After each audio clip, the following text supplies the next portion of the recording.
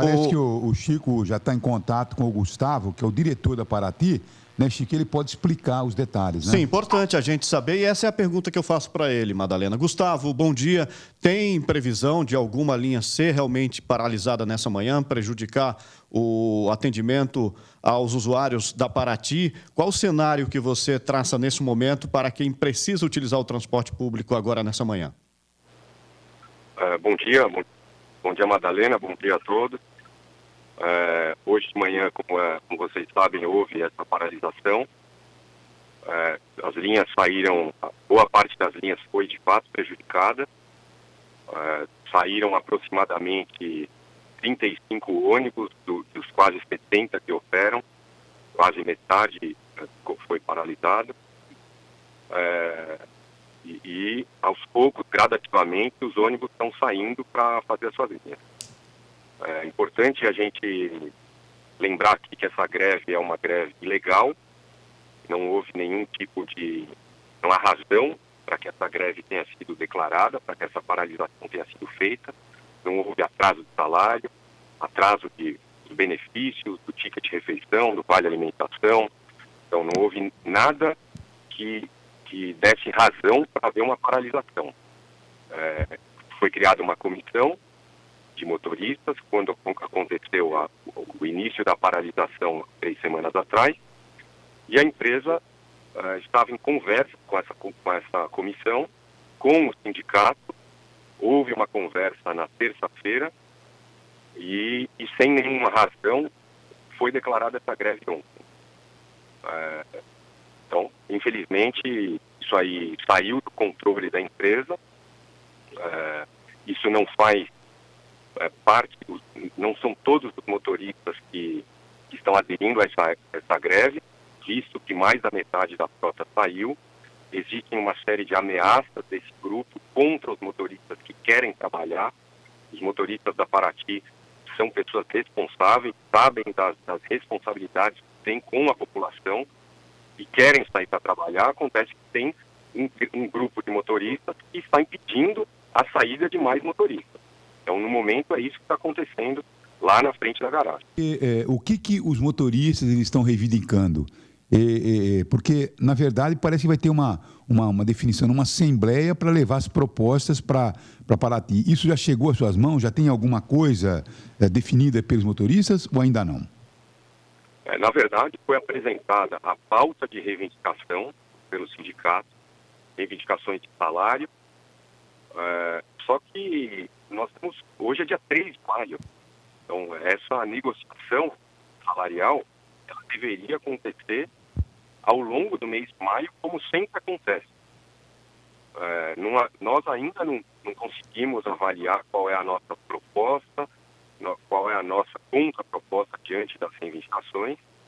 Uma série de outras reivindicações foram feitas, reivindicações, menores, como mais uma camisa no uniforme, mudança de horário e acerto de caixa, reivindicações que foram atendidas e apresentadas para esse grupo de motoristas na reunião de sexta-feira. E, e, agora nós estamos surpreendidos com essa. Então, vamos fazer o seguinte, né? Quer dizer, é, existe essa. Nenhuma assembleia marcada. Então, agora. não há nenhuma assembleia marcada para debater, porque ainda não foi nem feita contra a proposta da empresa, porque simplesmente nós estamos no dia 3 de maio. Tá certo. Então, essa é a alegação, né? Segura um pouco, Gustavo. Essa é a alegação da, da, da empresa dizendo que é, não tem absolutamente nada, é, nada, vamos dizer, palpável para se fazer uma paralisação. Mas vamos conversar com o nosso repórter Ari Campos, o Ari que está lá no local. Ari, é, alguém poderia falar em nome dos motoristas ou ninguém quer falar? A advogada poderia falar? A advogada que está aí é da Paraty ou dos motoristas, hein? Pelo a advogada que está aqui no local, Madalena, é da empresa da e ela está explicando que realmente essa negociação não deve ser feita na rua. Existem assembleias, existem todo é, um processo para se fazer esse tipo é, de negociação e que a empresa foi surpreendida durante a manhã de hoje é, com esses motoristas Agora, é, parados aqui na frente. Agora, os motoristas, Madalena, eles querem uma posição a respeito da empresa sobre essas cartas de demissão que eles receberam durante a madrugada.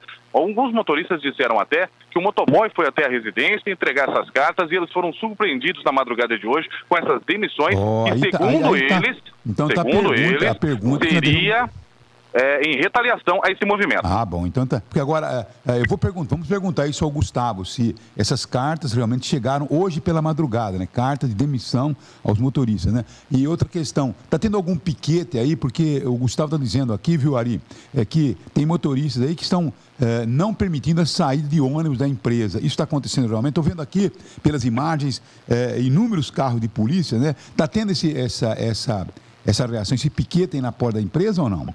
É, realmente a polícia foi acionada para evitar justamente essa situação. Os motoristas devem aderir é, ou não. Quem tiver ali, é, quem gostaria de trabalhar, tem o direito de trabalhar. Então a polícia foi acionada para não é, ocorrer nenhum entreveiro entre motoristas e nem motoristas com a empresa. O sindicato também está aqui é, para que não, uh, não ocorra esse tipo de reação por parte dos motoristas Bom, ou de nenhuma parte. Então deixa eu perguntar ao Gustavo, né, sobre essa, essa, essa carta de demissão. Essa carta entregue né? por motoboy nas residências. Né? E isso, isso realmente aconteceu, Gustavo? Agora essa madrugada, essa noite?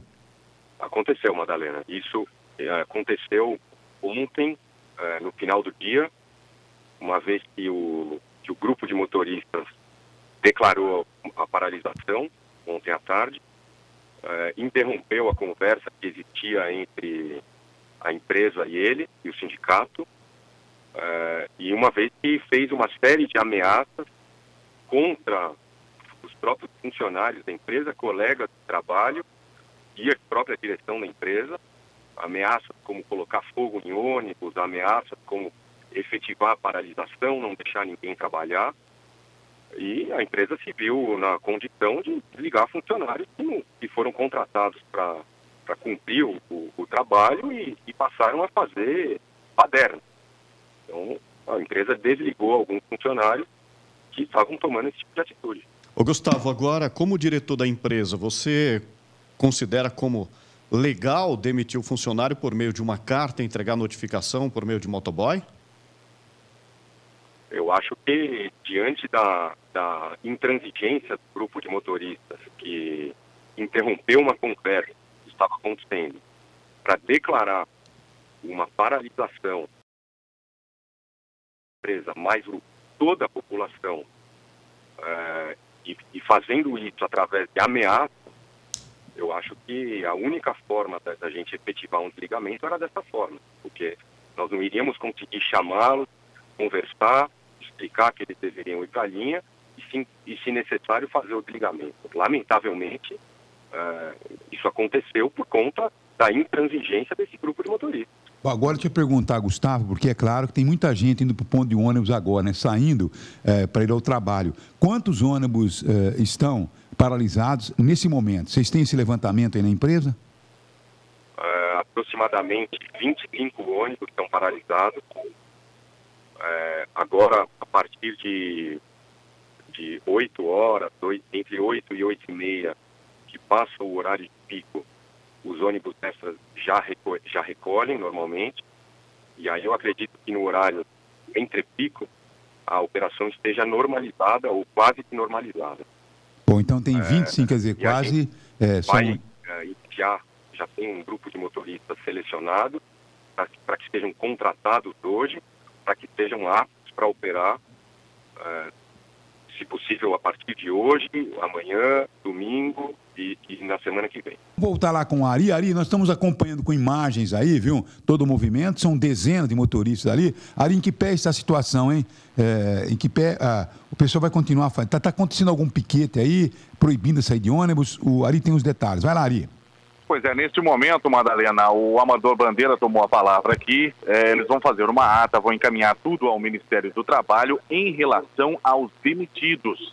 Aquela negociação salarial e reivindicações é, de melhorias de trabalho, isso vai ser resolvido em um outro momento. Agora, o que eles precisam ter uma resposta da empresa seria sobre esses demitidos. É isso que eles estão conversando neste momento. Vou tentar até me aproximar ali. É, eles estão conversando amigavelmente, mas sobre essa negociação sobre salários e, e, condições de trabalho, isso vai ser feito em um segundo momento. Nesse momento, é, o que eles querem entender é sobre as demissões e, entendendo sobre essas demissões, eles vão conversar para saber se vão retomar o trabalho ou não na manhã de hoje.